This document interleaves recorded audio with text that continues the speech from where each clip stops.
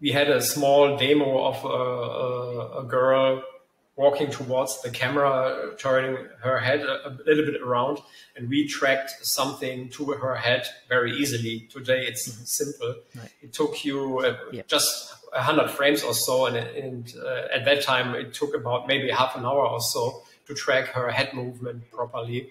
Right. guys at ILM said at that time, Ingvi, okay, you can do this in half an hour. We would usually it would usually take us three weeks or so to do right. this because they had to do it by hand, of, of obviously. Of course.